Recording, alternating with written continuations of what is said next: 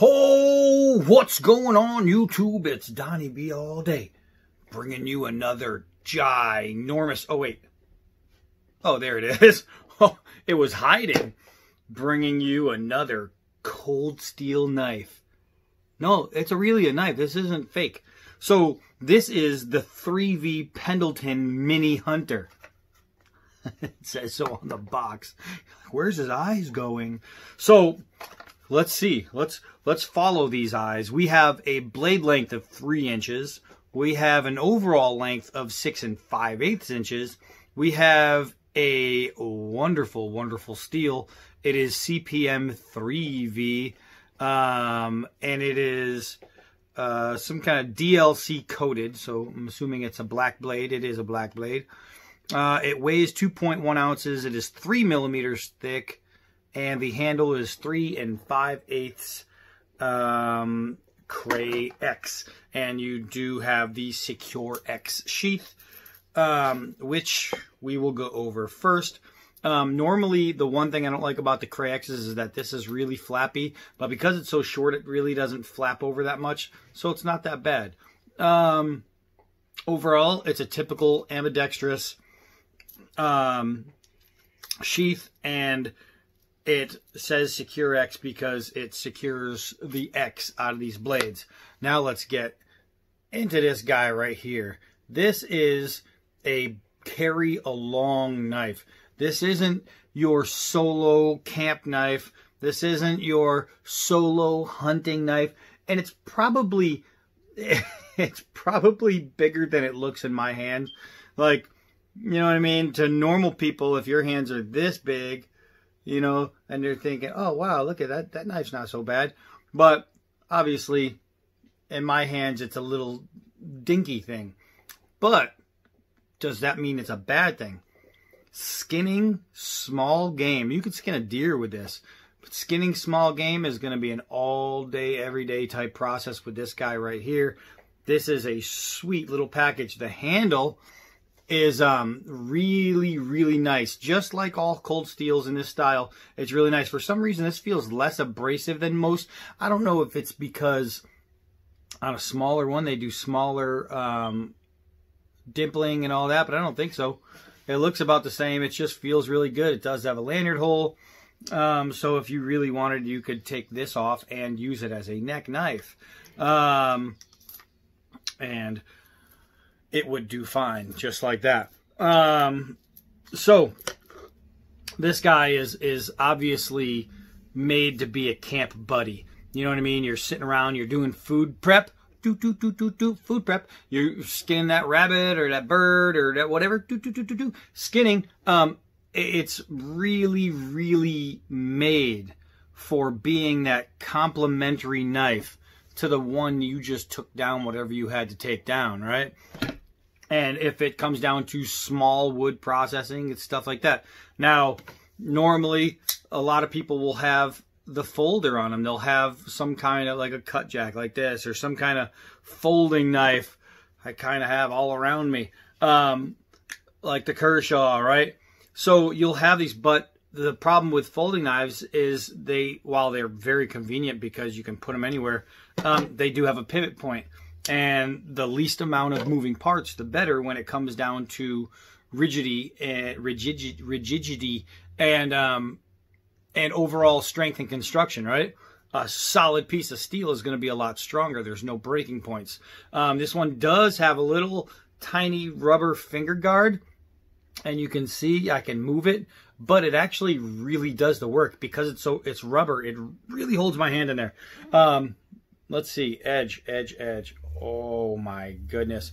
Yeah, this is um this is definitely going to be a good skinning blade and food prep and all that. I mean, it is razor. Razor. Razor. Rizana. Um, razor sharp out of the box.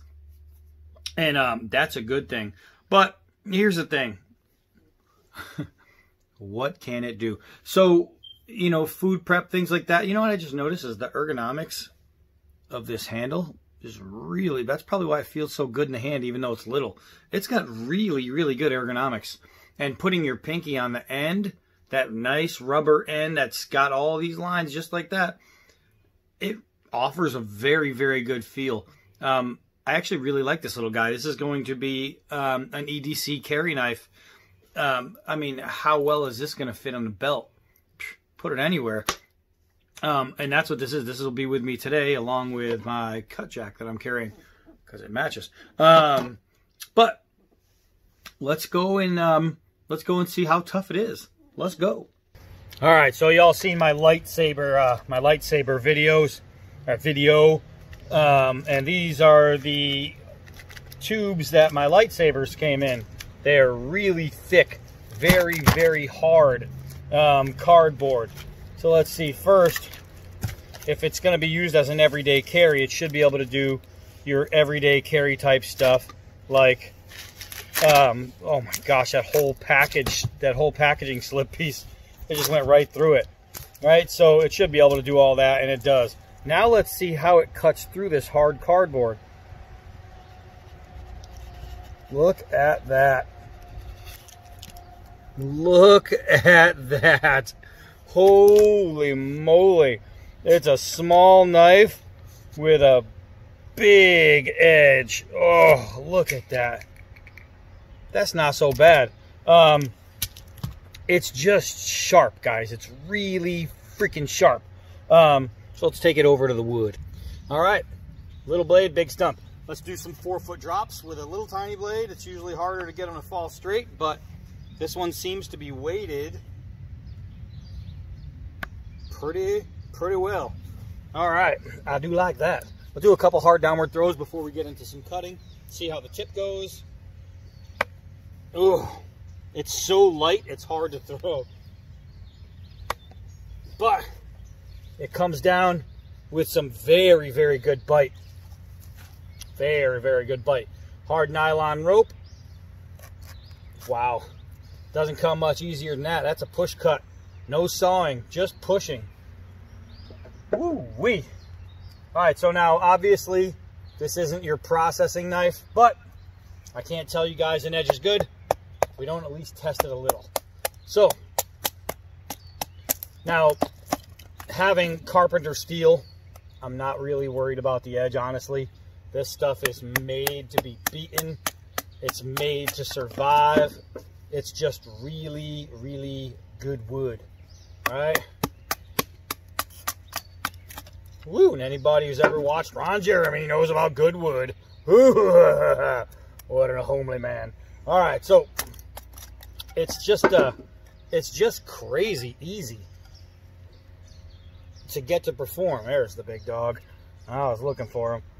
So let's see. Oh, yeah. Oh, yeah. Oh, yeah.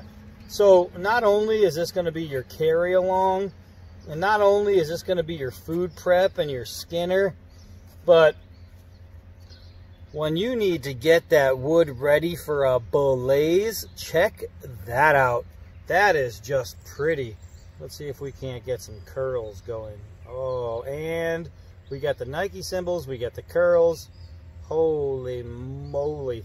This thing is so sharp, it is making paper thin curls. Paper thin curls. So you got your Nike symbols, then you do some pull cuts and you get those crazy beautiful curls those will light up great. Let's see. Let's see. Now for chopping, it's obviously not a chopper, but doing stuff like this, um, chopping comes easy with a knife like this. You hold it way at the end and you just let the blade do the work. And uh, as you can see, it's actually doing a pretty good job. It's taking some um, nice chunks out of there as a little chopper. So once we get it down, then we're just gonna take our our edge and wow man man man alive this thing man boys and girls and girls and boys you need to make your pit spikes your arrows your tent spikes your spear tips any of that garbage no problem woo leaves the tip right into good wood let's see if we can't get through to through this hard bark. Oh, look at that. Look at that. Oh, it's just a piece of bark and I'm skinning it without taking off all the way to the actual inside. You can peel with it.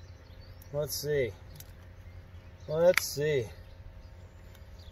Let's see. Probably covering it with my hand, but what I want to do is get a nice, hello, Mr. Bumblebee. You don't sting me, I won't sting you. All right, so this edge is just per freaking perfection. Perfection.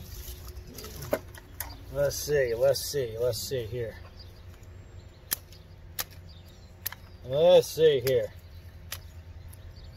All right, let's get all that out of the way. And let's see. Let's see how thick of a piece we can actually get through the, and it's not any fault of the blade, it's just the weight. There we go.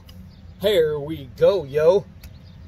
Ba boom. This little guy right here is going to be great as a um, as a bring along, and it's going to be an awesome everyday carry just because its size is perfect. It's the size of your, you know, typical folding knife that you're going to bring with you, but it's the strength of your fixed blade. And that is a very, very good thing. All right, skinning knife. Let's see how you do here. Wow, taking hairs off. Trying to skin just the top. to Take these little hairs, and it is doing it. See if we can go across. Obviously we can. Wow. This thing is sweet, man. You know, when I first got it and I saw how little it was, I almost dismissed it. I almost said, hmm, I don't know, this is kind of tiny and I'm a pretty big guy. This might not be that great. But, you know, this is falling into one of those so far so good categories where it's like, I can't find one thing I don't like about it. You know, everything about it works. Let's see.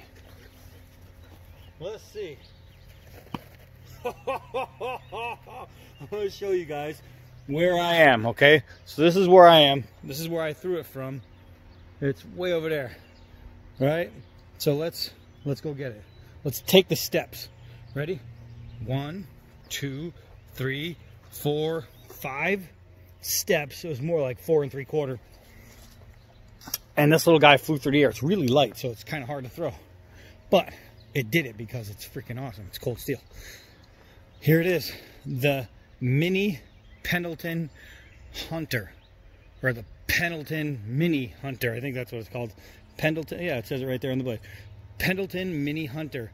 This is your do-all, carry anywhere, get that job done type of knife. This is pretty sweet. This will be with me on my side today. I am absolutely freaking loving it. Um, I'm going to have a whole lot of fun with this blade. And the fun starts now, baby. So that's it. I'm going to take this guy out and uh, keep using it for the rest of the day. See how she do.